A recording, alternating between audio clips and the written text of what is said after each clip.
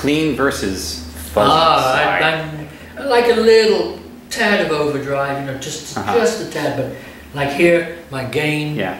is low. Get in there. My gain is, I call it three and a half, three and a half. Okay. I mean, I mean, sorry, three and a half and seven. Mm-hmm. hmm Go like this. Um, three and a half, seven for the volume. So you just Okay. feed in a little bit of the gain. But I, am not a fuzz fan at all.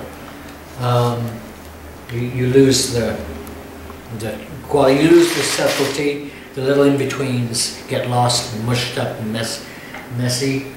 Um, What type of amp, amp do you use on stage? You use I like a small tube amp, yeah, a 10, 10 15 water, like Any a particular- square cube particular brand that you um, I really like the Laney.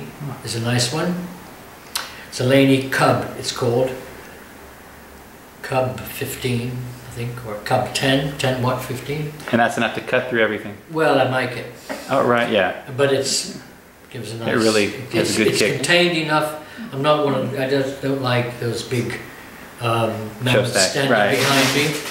Um, I like something that's small and contained, which can give some, so it can be brought up rather than pushed back. Right. Um,